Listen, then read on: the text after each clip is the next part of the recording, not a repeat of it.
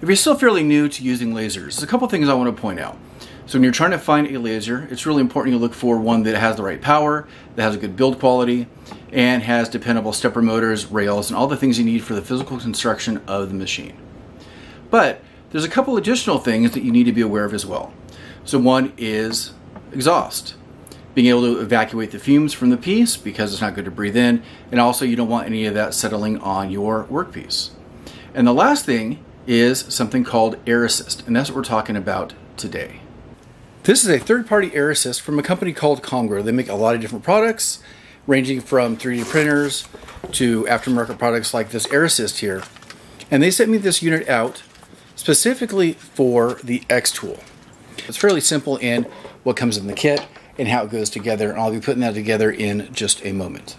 In the box, you'll get a specified air hose, clamps, zip ties, couplings, and custom shrouds that automatically match the finish of the Xtool D1, which is actually kind of a nice little touch there to make it look like it belongs with the machine. And of course, the small little air pump. Um, I have another air pump I'll show a little bit later that I have used for my K40. And it's a little bit larger in size, at least it appears larger, but I really like this one. Specifically because of these little feet there. Air assists like this and air pumps tend to vibrate really fast. And these will help dampen that and keep it in place hopefully. Otherwise it'll kind of like bounce all around. Usually in my review videos i do kind of like a time lapse of putting things together but i want to point out a couple things with this one. So first of all the instructions are pretty sparse on putting things together.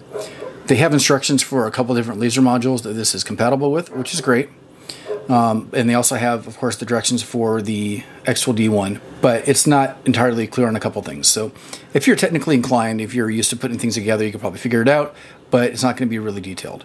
There's a very, very small set screw right in there that you have to loosen before you can slide this on. But the reason why I'm pausing right now to show this is that hopefully you can see right in there, I'll focus a little bit better, is that that is the inlet for the air. And it doesn't line up really well. You can see that little bit of brass in there, and that is the part of the laser module there, which means that the air going in is going to be partially obstructed by that. And I don't think that's quite right. So that's one small thing I see that probably should be a little bit better, maybe designed a little bit different, um, maybe having a little bit more of an offset on that. But just want to point that out now. I'm going to go ahead and put more of this together.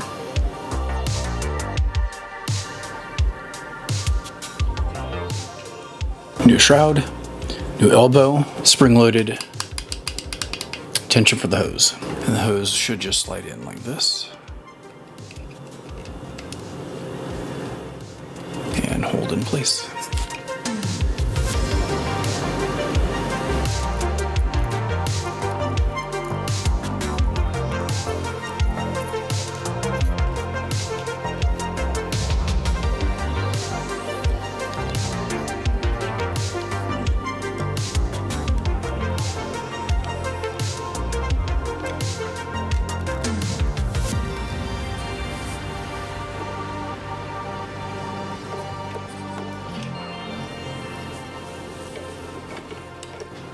So just put together, got the new cover, the new shroud, the airline is installed to the air pump here. So we go ahead and turn it on, make sure it's blowing air. There it is.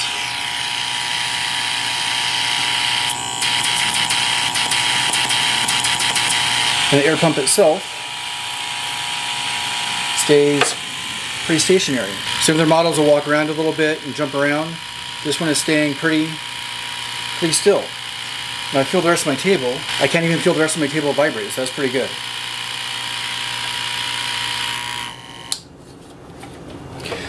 One last thing, if you can see on the speed control here, it is not just a simple on and off. It has a variable speed setting. I don't know if speed's the right word, but maybe pressure. So, and then all the way up. So I'm to go ahead and put it back on the machine and run some tests.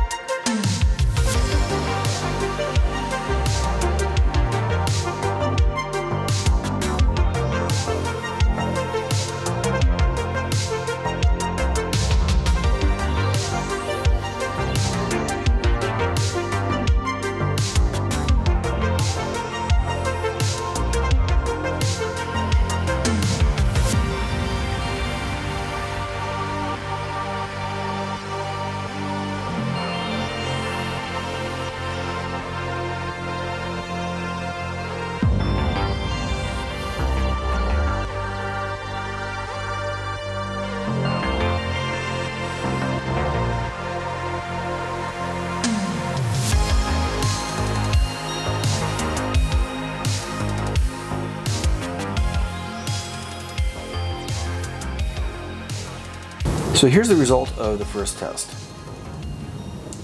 This one here is without the air assist, and the grave actually looks pretty good. And there is with the air assist. Now, strangely enough, and I have to be honest and admit this, the one without the air assist looks better, and I think that's because of this kind of like micro detail of the engraving, where some of the smoke or the small detail was more embedded in the wood, where here it might have been kind of blown away a little bit more off the surface. And I think that's what kind of happened. With a deeper engrave, maybe a little bit slower, we'd probably see a little bit of a difference, but the air assist is doing what it should be doing.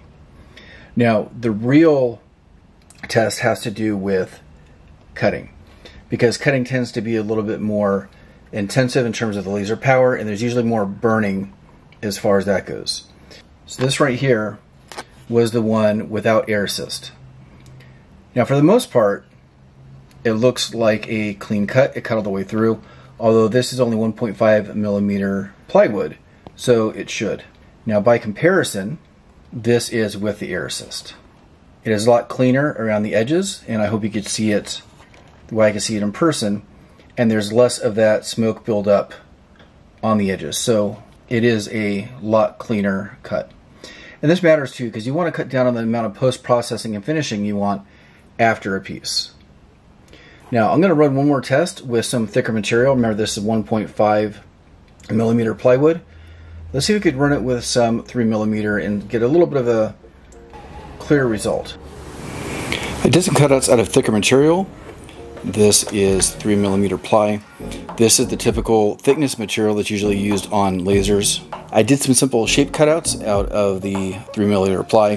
You can see right there all the burning around the edge as opposed to one with the air assist. Not quite the case.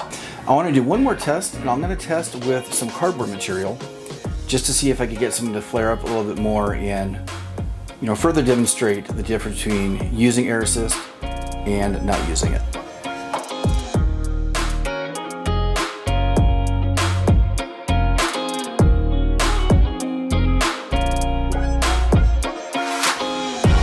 So final test for this video, I was cutting out some box joint parts out of really, really thin stock cardboard sheet. I'm really not even sure what this stuff is called. It's, I wouldn't even call it chipboard. I think it's a little bit thinner than that. But right there you could see where the cardboard essentially burned and really got some pretty bad charring. If I went any slower, I probably would have had a live flame on this. But luckily enough, that didn't happen. And then the obvious difference with the air assist. So it looks like the benefits of an air assist are pretty clear, especially if you want to minimize charring on your piece and just have a cleaner product in the end. If you don't already have an air assist for your machine, check out this Comgrow. It is a third-party product. It does only work with some lasers. I'll have more information listed down below.